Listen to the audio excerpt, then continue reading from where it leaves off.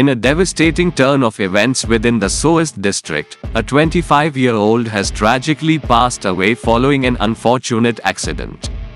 The incident's details are currently under scrutiny, deepening the sense of sorrow as authorities strive to unravel the sequence of events leading to this untimely loss.